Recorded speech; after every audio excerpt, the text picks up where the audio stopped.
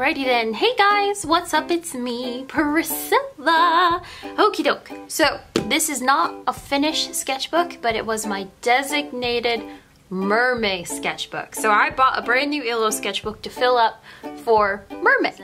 Illo sketchbook and my supplies were mostly based off of Oh, markers! This is the pastel set. I bought it for MerMay because I was obsessed. I saw a bunch of reviews for them, bought them, but I also used like my very first Ohuhu set. So I've got like two sets. This is like the 36 colors and then this was the pastel set. And you can buy them on Amazon. Alrighty, so it's not a finished sketchbook like I said, so you'll probably see it later on into the future when I finally do finish it. There were two different prompt lists that I really liked from MerMay on Instagram. This one was based off of three different Instagram artists. They took like a section and what I really liked about it was it was every other day. So I wasn't bombarding myself. What I chose was this prompt list, but then every other day with my patrons on Patreon, I would do like Erica the Goober's MerMay prompt list. So I did like flower, neon. For the first page, I have Miss Ariel, all wonderful in her park dress. I never get to draw Ariel in her park dress. So I just wanted to start off mermaid with a mermaid we all know and love. So I started with Ariel and I used Prismacolors to line her and uh, oh, markers to color her in. This was the first day on the Fairy Tale Mermaid. So it was like called Fairy Tale Mermaid prompt list and it was Roses Are Red and I came up with a fun kind of concept for this one, the saying that, you know, she's a singer and a siren and all the sailors give her a bunch of roses because she doesn't kill them because, you know, sirens lure sailors to their death. it's scary. Anyways, moving on. Then I went ahead and jumped onto Erica the Goober's prompt list and made this for my patrons on Patreon. So this is based on flower and I just put a couple pretty flowers, Posca pen flowers in her hair. Was called Love Song. Now I really like this one a lot because I did it kind of a different perspective and I wanted it to be like a really tiny boat to the point that it looked like she was toppling it over and I wanted it to be some cute Hawaiian guy playing his ukulele to his mermaid and you know just something cute and she looks like she has like a sunshine kind of tail with a sunshine top. I don't know I, this really reminds me of like a twist to uh, the Splash movie and then I, I skip a lot of pages I'll probably come back and fill this so this is a really cool one I did a May the 4th be with you, but it was also mine and my husband's second anniversary. And last year we didn't really get to celebrate because of quarantine and we were all locked down. So this year we went to a coffee house and he made me an adorable card and I can grab that. You don't get to read it, but you can see it. so this was where we spent our honeymoon. We have a cute little Florida uh, cottage kind of cabin in the Everglades and he created this and I made him into a Sith Lord for May the 4th and our anniversary. And then I also made this awesome kind of Jedi mermaid. Really like her tail and I really, really would love this lightsaber.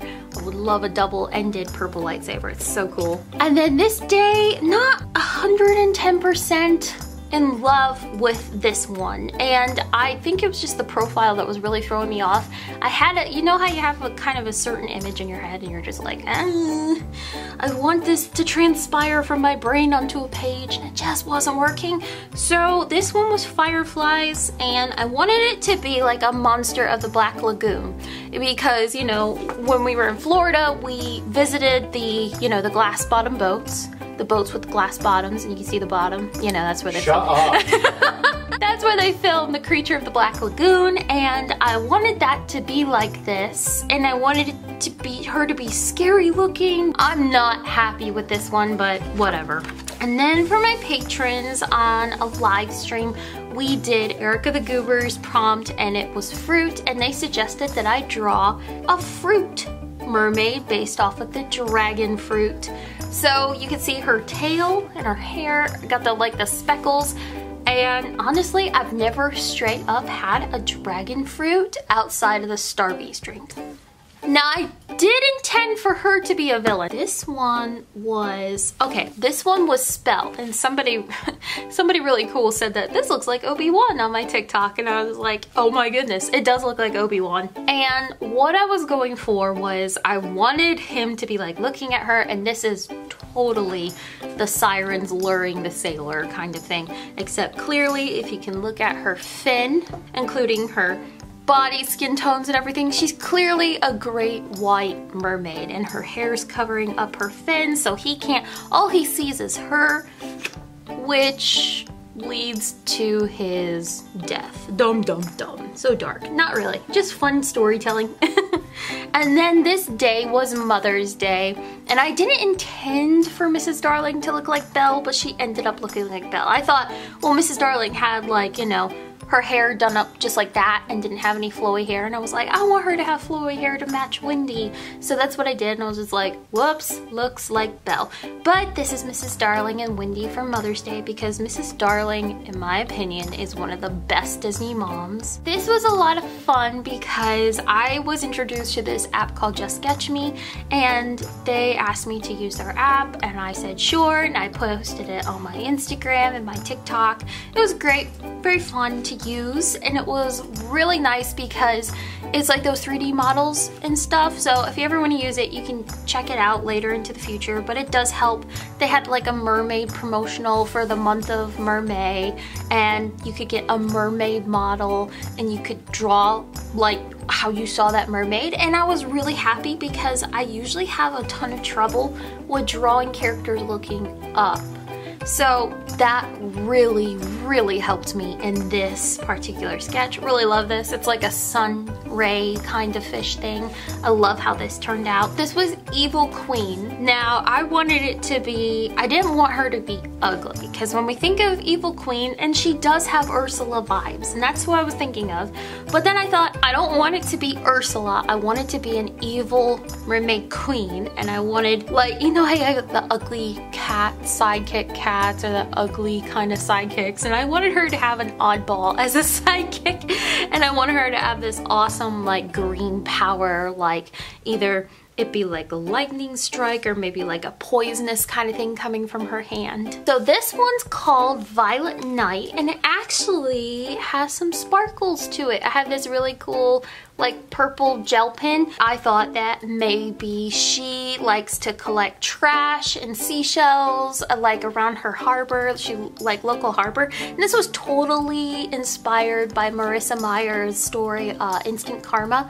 Loved the book, it was awesome. And that's what I thought of and I thought, oh, I wanna come up with my own characters because it was all about like saving seals and stuff and cleaning the ocean. It was a really sweet movie. Somebody wants to talk to you. Anyways, it's just a really sweet book and I got really inspired by it.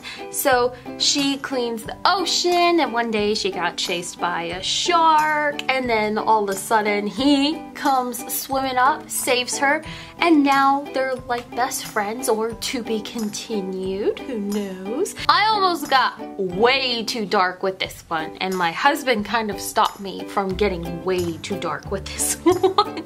so this one was Curse and I wanted to this mermaid to be cursed into being a jellyfish, which a Portuguese man of war, which turns out not to even be a jellyfish, you know, blue bottlefish. I don't even know what they are. It was gonna be really sad and I was gonna have like a dead fish in her tentacles. It was, it was dark and it needed a lot of like reconcept kind of thing.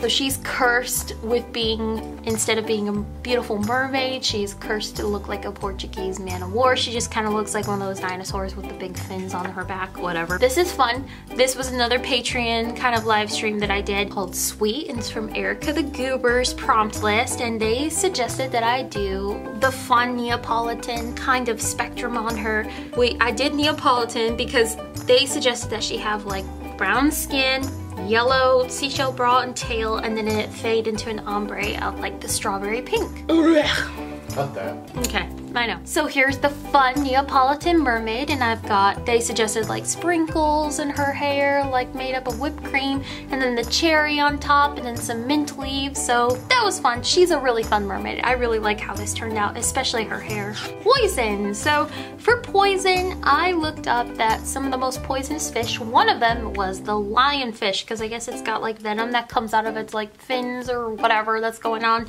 So I made a mermaid. She looks crazy, but she looks really cool. So I, am getting like this sporty spice kind of vibe from her. this day was Shapeshifter. I love clownfish. It's one of my favorite fish because obvious reasons. Nemo. so with Nemo, I wanted to have like a shapeshifter kind of mermaid, like into this giant big mermaid, Nemo fish, I don't know, clownfish mermaid, crazy. And I wanted to have her like transforming back into a mermaid or she transforming into a clownfish? This is actually really fun because I struggled with this one. So I wanted it to be, this day was pirate and I wanted it to be switched up. So I wanted it to be like a pirate, female captain with her merman because I see so many inspirations and like drawings of male pirate captains with their mermaids who are females and I'm just like oh I'm gonna switch it up. So I wanted this to be like her sitting on his lap and then the tail coming up and I wanted her to hold Rom and I was just like this is way too much. So instead I made this scene like you know they're just chilling and hanging out and this is another like two page spread. So it goes all the way over to the other side. And I wanted her to be hanging out talking about her day with her merman and because they're supposed to be sworn enemies because of the whole sirens and sailors and you know somebody's eventually dying and uh, you know and even in like the Pirates of the Caribbean the third movie that's what I was just thinking of but instead she's the female pirate captain with her merman and she's just hanging out with him enjoying the shade and just telling him about her day. This one's really cool because I made some new friends on TikTok and I don't know if many of you guys follow that Christian geek or the Bible guy. That's what his name used to be and he challenged all of his friends on TikTok that were artists to draw his wife for her birthday into a mermaid and she's actually Hawaiian so I created like a Hawaiian Polynesian princess mermaid. This is fun. So I got one of those really awesome four colored Bic ballpoint pens and I took it with me to visit my husband at his job. He works for the Mecum Auto Auction that you see sometimes on TV if you see your dad's or your grandpa's, whoever's watching it. Uh, it's just this big auction on TV. It's cool TV for old people. I know. but I was visiting him there. So that's what I usually do when I go visit him at the auctions. I take my sketchbook and draw and that was like a whole TikTok video about explaining that my sketchbook is my security blanket and I bring it with me everywhere. That's why I love the Illo sketchbook because it's perfect, it's compact. No sketching beforehand. I had to just do it straight up with just the pen. Really challenging, but that's basically what I was doing, sitting in, in the convention's bar area. So yep, that's what I do. this one was called Something Blue and I really wanted to do a cool color scheme and I had not done a picture of a mermaid who was above water yet. So I went ahead and made this plus size mermaid into like a green cool color blue spectrum. Really had a ton of fun. The only purple you see is right here. This one love how this turned out. I love how I did the scales on her tail. I want her hair so so bad. I don't I don't know what I was going for here. I think it just looks like Mrs. Frizzle and this was actually one of the church doodles. It didn't turn out awesome but I made this in church and she just looks like, you know, the magic school bus lady. So, and then Steven's little my pants are too tight and he's got his butt sticking out. Yep, I'm gonna leave that in there. This one is called Tea Party and I based it off of Bridgerton and just like I wanted like, you know, tea teacup time, Wonderland. I thought of Wonderland and Bridgerton. And I thought of Marie Antoinette. And I didn't know she's not that terrible of a person, I guess. Some people were correcting me on my TikTok. I don't really know. I didn't pay attention that, that year in history class because he was a terrible history teacher, but I do remember us talking about it. so, um, so this is a cross between Wonderland and Bridgerton. So you've got the crazy, awesome, like I wanted to do the seashell pattern on her teacup, crazy colors that remind me of Bridgerton's awesome costumes. And I also wanted her to have like pink skin to be clearly a character that Alice would come across while she's on her journey of Wonderland. This day was royal, so for fun with my patrons, I went ahead and did a live stream where I opened up one of the Disney Princess boxes and I got, here she is, this Jasmine right here from my Disney Princess surprise box. It's like the Disney Princess comics or whatever. I got Jasmine, so you got a little bitty tiger fish right there. It's Rajah. Tiger fishes do not look that cute in real life. Do not look it up. So here she is. And I did, I tried to incorporate her new like peacock, like the pattern that is in her new costume. So that's what I tried to do there. But I really love how this turned out and I really enjoyed uh, working with her hair because I didn't want it to be in the, like the bounded ponytails or whatever. So I wanted to be all flowy. This is another one I wasn't too fond of. This was Bride and I was looking at bridal mermaid, you know, style dresses and then I found the perfect like mer mermaid bridal dress. I wanted to base it off of that and she didn't really end up looking like that. Like she looks like the dress that I found. I messed up on her face a ton and I messed up on his body. Um, I didn't want, I wanted him to be kind of like a bulkier, not like as fit, like a Kristoff kind of build. Like dad bod crossed with clearly he works out. That's what I wanted to go for and I didn't like how it turned out. I was like, ugh. And then the last day of MerMay was, on my prompt list was Forever and I did a video on this where I actually showed you guys um, me drawing it. So, and I thought, you know, with Forever, I thought of mermaid forever pastel colors like she can be like some crazy mermaid pastel queen or mermaid pastel goddess, who the heck knows. It's all fun and games and storytelling, but that's who I thought of, like she can be representative of all mermaids. I actually stopped doing my Patreon live streams for the summer and I'm taking them over to YouTube now where everybody can join me this summer on Thursdays at 4 o'clock Eastern Standard Time and I'm gonna start just for like the summer to see how it goes. I'm gonna do some live streaming streaming events and this is what we did for my very first live streaming event. And I kind of think this ties it all together because here's Ariel sleeping, Sebastian and Flounder, and I started it off with Ariel in her park dress and I ended it with Ariel taking a little snooze like, yay, MerMay is over. We'll see you next year, MerMay. So that is my entire mermaid sketchbook tour for the year 2021. And it makes me happy because I got to participate in Mermay again. I haven't been able to participate in Mermay all the way through since 2019 and I'm really happy that I got to do so many drawings and dedicate a sketchbook solely for MerMay 2021. Thank you guys for watching. I hope you enjoyed this fun sketchbook tour and yeah, you'll probably see it again once I fill up the rest of these blank pages. Got a beautiful, wonderful illo, gotta fill it up.